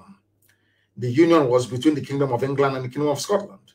The Kingdom of Ireland joined them in 1801. The union became the United Kingdom of Great Britain and Ireland. Even they respect Ireland, even oh, united based on common goals and interests. And they had a treaty. Where is the Treaty of Nigeria? that bound Nigeria to. Where is the treaty that says that a Yoruba man must be in a country with Fulani man? Where is the treaty that says a Gwari man must be in the same country with a Nupe man? Where is the treaty? Where is it none? A white man is your treaty. Very, very sad indeed. Very, very sad indeed. England, they have their own flag. Everybody, they, anyway, and they have a Union Jack. Go and look at the Union Jack, the United Kingdom flag, the British flag. You will see that every nation is there in that flag. They don't want us to have the same thing. Do you know that even their passports are different, their currencies are? Do you know that in Scotland, the pound in Scotland is issued by the Royal Bank of Scotland or by Bank of Scotland? It is different from the one issued by the Bank of England. Are you people aware? But I keep asking myself, why is it that Britain, you have all these things? You oh, okay, I'm sorry. I'm sorry. Where you created us. I'm sorry. We don't have any say. Uh, sorry, sir. Sorry. So sorry, Colonial Master. I spoke out of turn. What has one Nigeria done for you? One Nigeria only succeeded in giving you poverty, in giving you nepotism, bloodshed, discrimination, tribalism, just name it. At no time in the history of the Zoological Republic of Nigeria did these zoo animals called Nigerians ever sit down to discuss why they need to be together. All they do is to preach peace and unity without the ingredients of peace and unity. You come to my land and you kill me and you're asking me to be peaceful. How is that possible? And now, and now, please, that is something that I, I want us to, to listen to very carefully. I want us to listen to this very, very carefully, please, because um, I, I want to play this if it will let me. If at all it would let me, I would like to play it. I would like to play it because it is very, very important that I play this this very evening. I need to play it. Our people need to understand what is happening, what is going on. I want to play it. I do. Seriously, I want to play it. And as soon as I get it, it was an interview by on on I think on channels television and i want you to listen to the to the final detail of that very conversation it is very very important the final the final details of that conversation is key for people to understand what i'm talking about now listen I'm, i want it is from is from channels television i want you to listen to this very interview very very carefully please very very carefully please listen recent times, we've also seen even Fulani uh, ethnic groupings suffer some of this violence. In Sokoto State, for instance, the people who were attacked were Fulani in Zamfara State. This girl is defending at Channels TV. She is defending Fulani Janjaweedism because they give her money. Maybe they, one of them have taken her to Dubai to do shopping. She has bought, I think she bought a new blouse. I've, I've not seen her before because her wardrobe is very poor. She bought a new blouse now and changed her glasses so whoever took her to Dubai, she needs to defend the person's interest. That's what she's doing. Let us listen to what the, the girl has to say. This is the main anchor uh, on on uh, whatever her name is on Channels TV. One of those doing the bidding of Fulani Janjaweed. Listen. For instance, the people who were also attacked. Just a moment. The people who were attacked were also Fulanis in Kebbi State, where you know where we also understand that there is a vibrant farmer farmer Fulani population. They have also suffered some violence from this so-called herdsmen. So, so can we really say it's about an ethnic group? Or is it, you know, something that we're yet to really put a finger on? To be honest with, uh, with you, Listen, I use the word Fulani as a generic term. That we have armed militias, many of them from foreign lands. You know, when you speak Hausa, and I speak Hausa like a native. I speak it better than my, my maternal language. This is my love here. Okay? And when somebody opens their mouth, you know precisely what kind of Hausa they have. Whether it is Hausan Kano, Hausan Zaria, Hausan Zazzau, Hausan, Hausan Katsina, Hausan Sokoto. And when you know Hausan Niger, Hausan Mali, you know it. Many of these people are foreigners. We, we call foreigners them Fulanis because that is what they call themselves. And uh, but I think it, this is more than just Fulanis. But I think you are, if I may respectfully disagree with you, the killings in in Zamfara uh, ethnic, it is actually Fulanis killing normal Habbe Hausa people, indigenous Hausa. Did you hear that?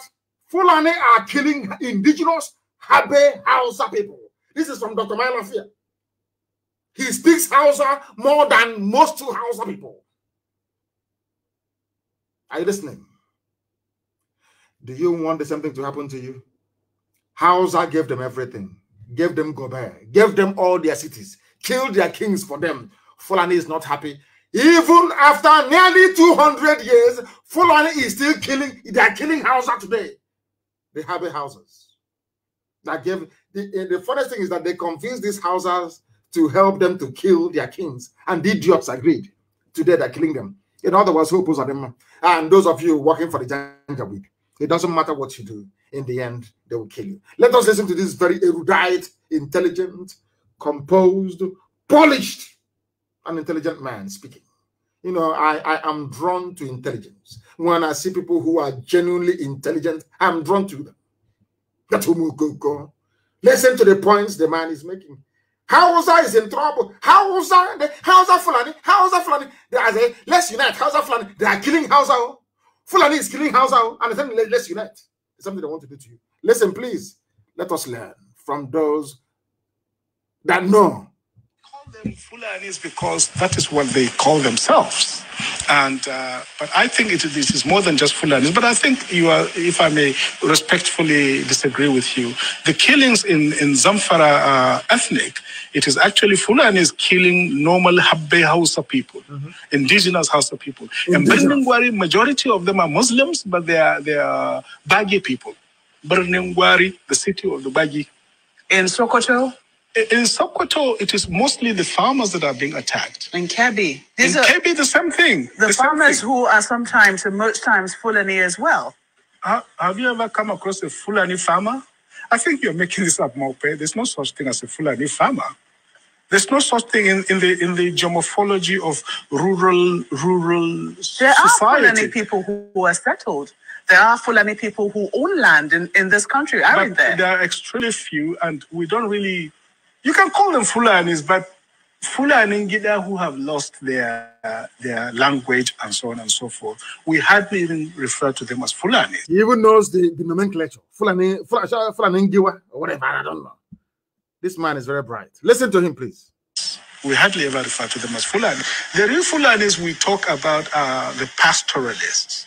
There are settled Fulanis, of course, but many of them are, are, are, are clerics, Islamic clerics, their teachers, their scholars, and they are the aristocracy, by the way.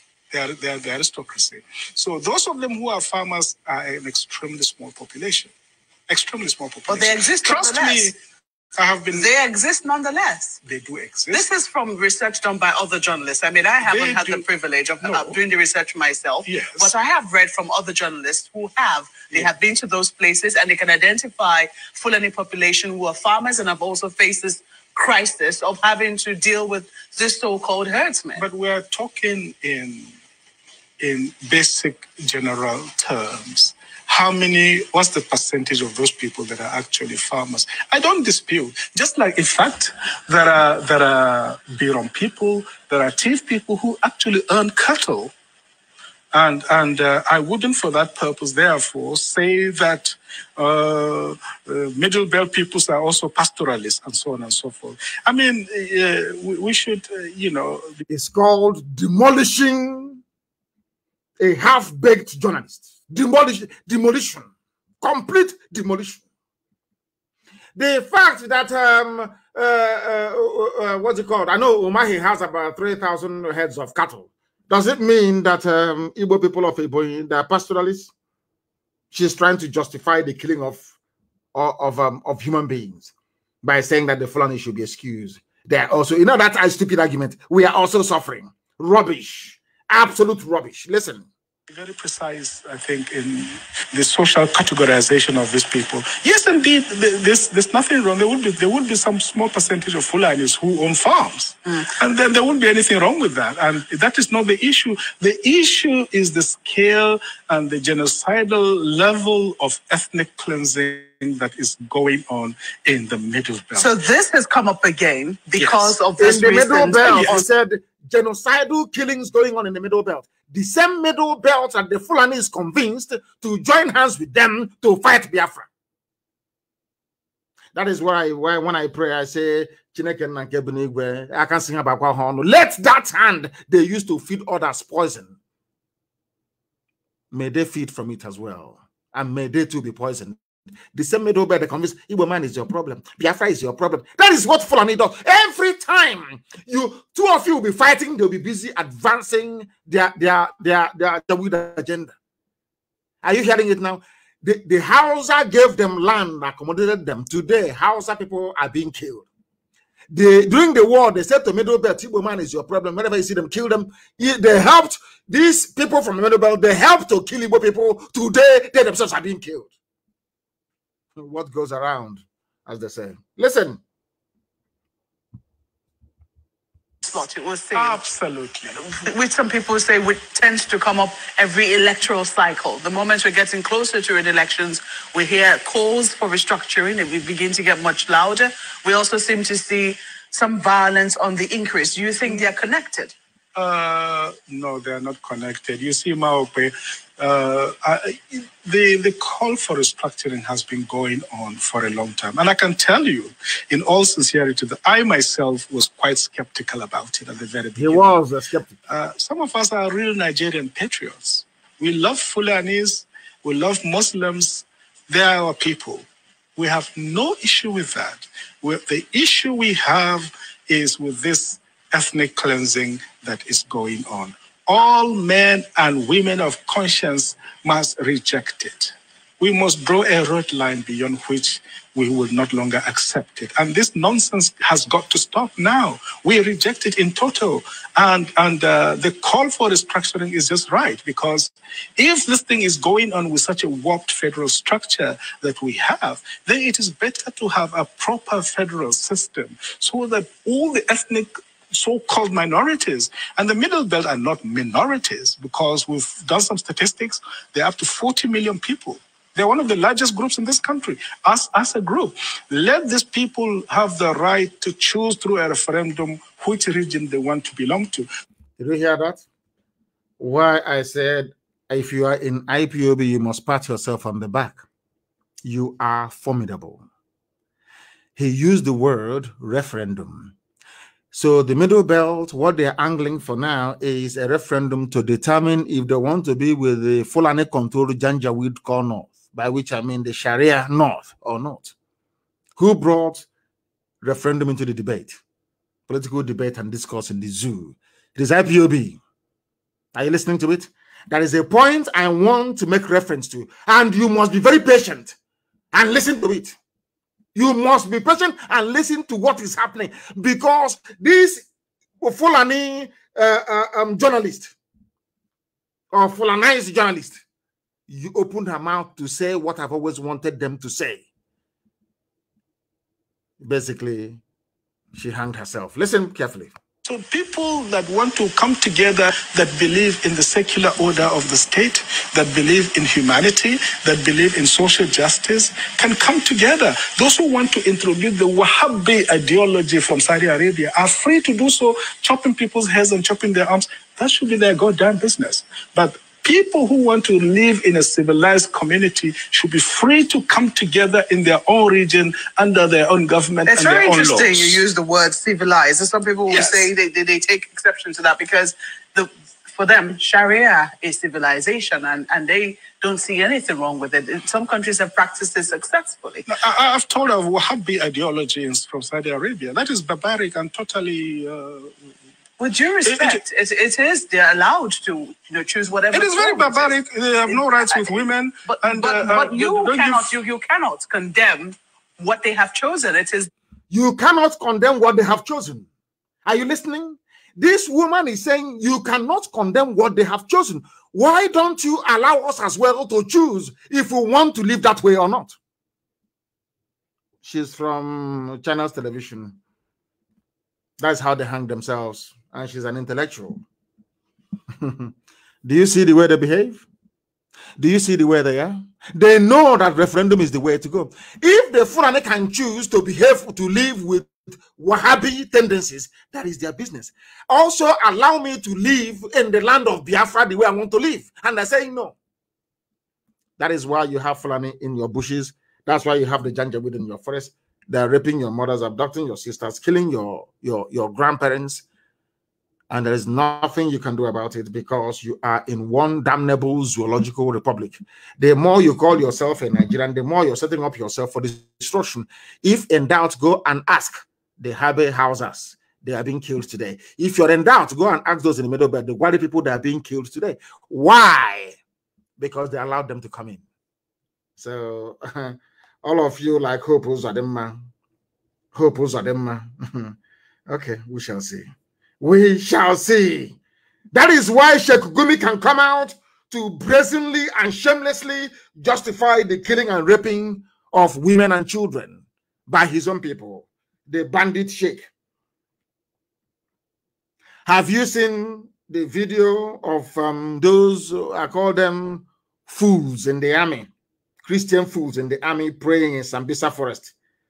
The same Sheikh Gumi that he, they are fighting for they're in Sambisa, they are Christians from the south and middle belt fighting a war to keep Sheikh Gumi safe with his family. The same Sheikh Gumi turned around and said that and told bandits who are killing people and kidnapping school children, Oh, don't worry. Those killing you are Christians in the army. Nigerian, one Nigeria. Nobody has arrested him. The man you heard his voice a few minutes ago, Mailafia, they invited him to come to DSS for questioning. Sheikh Gumi opened, he's a Nigerian, no? For he is a revered, the learned people are so daft because a uh, Yoruba newspaper said you should call him he, he's revered. That's why you're calling he revered Sheikh. He said that those killing them are Christians and soldiers from the south. Sheikh, a sheikh in the zoo, negotiating for money to so when they give money to these bandits, he will share with them. And he's a one Nigerian. He's an intellectual so to speak.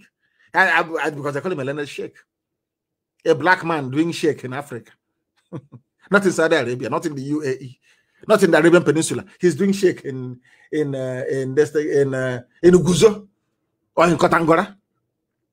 Mad people everywhere. Ndiara, Jupiter Benine. Sheikh Abubakar Mahmoud Gumi is angry that Nigerian soldiers of Christian, should I say, of um, Christian lineage, so to speak, or leaning, are killing bandits.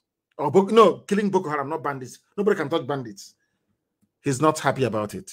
Same as the late dead Buhari. And you are in one country with them. These are your fellow Nigerians. All of you Nigerian animals, these are your fellow Nigerians, yeah? fellow, my fellow Nigerians, you have seen them bandits should be pampered. Oh my goodness. My goodness. They they they messed people up, didn't they? The North got together with Britain. They constructed a document that handed power in perpetuity to the Fulani, and that's it. All the Hausas get from it is a, the, by an appendage to attach their name to Fulani. Hausa, the only thing they gain is answering uh, in the past to Hausa Fulani. They are suffering today, they're killing them too. And we have reason up to say enough is enough. And they're saying no to it. And that is why they have failed and will continue to fail. Even today, you know Baki people in Abuja that was that own Abuja? When we said to them that the army is helping the, the terrorists to take over people's land, some of you did not listen. Don't push us to violence for those who are complaining. Every if you are not violent, I'm saying in the world so the world can hear me. If you are not violent, Fulani terrorists will use violence to rape your mother, cut up your father, abduct your sisters, and take over your land. If you call self-defense violence, that is your business. That is your very limited and idiotic understanding of what it's all about. They have come. This is not Biafran, so these are baggy people from Abuja. They call Gwari. Don't push us to violence. Federal capital territory communities warn Nigerian army over land. Nigerian army will come, use their uniform, use the, the equipment they got from Britain, from USA, from Germany, meant to fight Boko Haram, to be grabbing land for terrorists.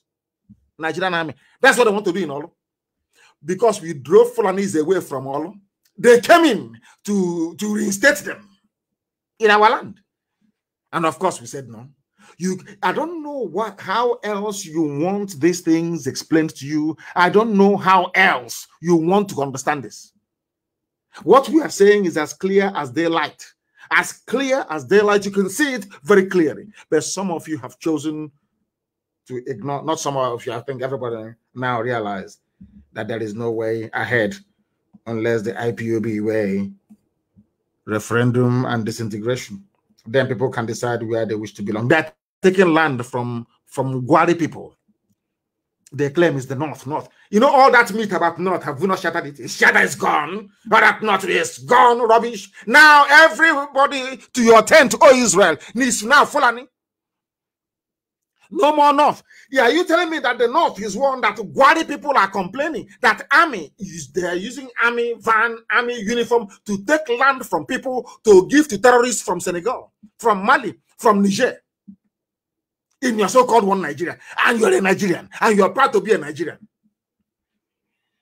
Uh, people with such mindset, we are those that allowed the white man to come in to take over our land to take over our land. And um, have you all re read the report? Have you all read it? Are, are, people tried anyway? A plane crashed in Abuja. The U.S. ambassador wrote a, a goodwill message to Nigeria. That same ambassador is there, and the army is attacking Orlu. She never said anything. UK the same thing because they know who we are more than we do ourselves. They know who we are. They don't want Biafra to come. They represent darkness. They want darkness to prevail. They want you to be unemployed. They want our women to be going about and being useless by these idiots. They want you to be riding Okada after having your PhD. The British High Commissioner and the USA ambassador, that is all they do. They want you to continue to suffer. They give them money from the zoo. They bribe them. Who says a white person doesn't take bribe? They take bribe even more than black people. US ambassador taking money from Nigeria not to speak the truth.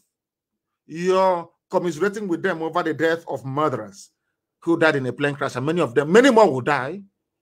Come and bomb Bolu again. One of your planes will also go down. You, all of you will die.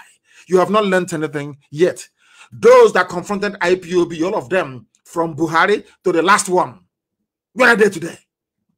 To Junaid Buhari, they're all dead. You confront this great family, you will die in the process of it. U.S. ambassador is a woman. And I, in life, I used to think that women are more, uh, they have more empathy. They are like mothers, you know, and uh, you know they feel they have human, they have that motherly, compassionate feeling for the suffering of humanity. They sent a British High Commissioner who is a woman, a U.S. ambassador who is a woman, and these two people are just there. Even under their watch, the slaughter and killing of the innocent has tripled.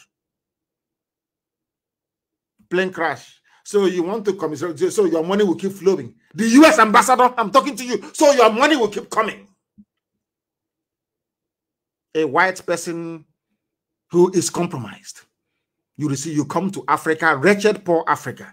You take bribe from a very corrupt government in order to sweep human rights abuses under the carpet.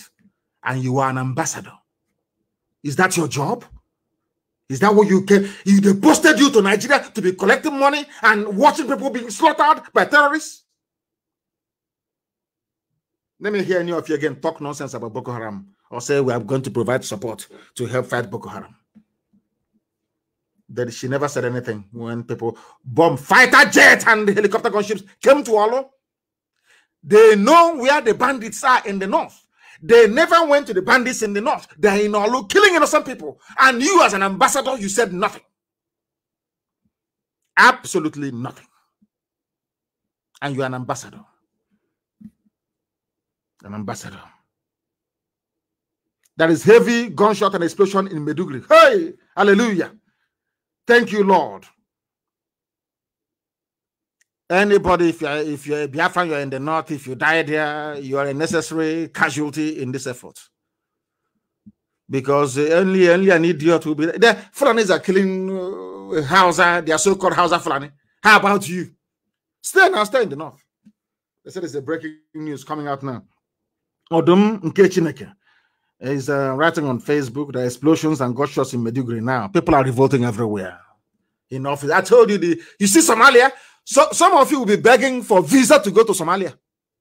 You you beg for visa, and so Somalia Somalia will say no. That's how evil. That's how bad Nigeria will become. How many years ago did I warn you? You thought it's a joke. People don't know what.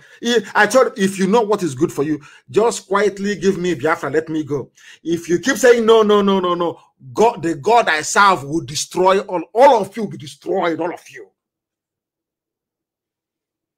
Is it not happening before your eyes? Mad people everywhere. Orlu raid. Army confirms airstrikes arrest 20 IPOB members. They just go to houses and they pick up people. They say, that we are no, no IPOB family member was arrested. there, there is something evil, there is something satanic about a black person.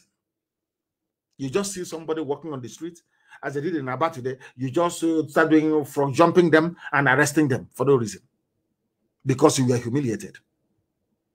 I thought you said you had uh, raided their camp and uh, uh, they gave money to them. You know, brown envelope journalism in the zoo, no investigation. They wrote their usual junk.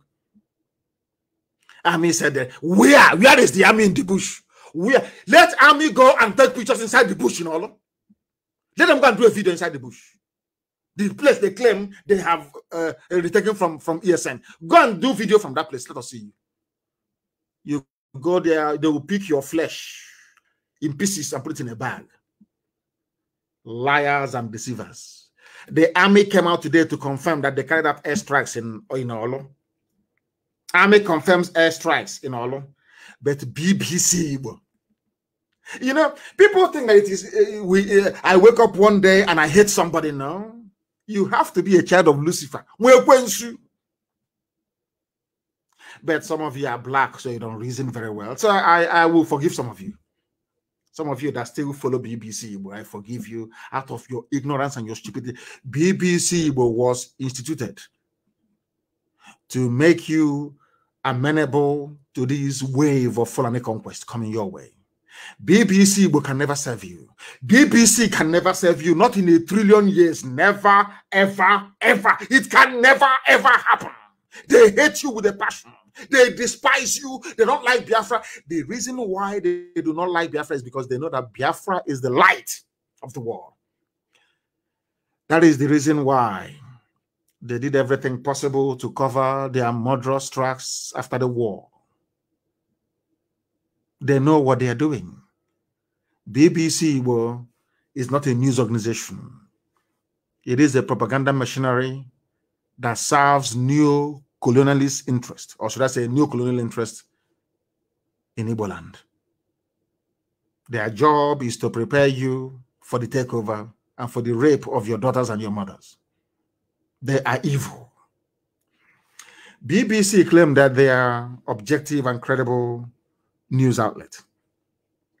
People on the ground, we circulated videos everywhere of the army shooting from a helicopter gunship in Orlu. People, somebody was speaking Igbo, saying, look how they have come. Look at them shooting, shooting. People, children were crying. A news organization of the size and stature of BBC came out to say that nothing like that ever happened. Let us say it was a mistake.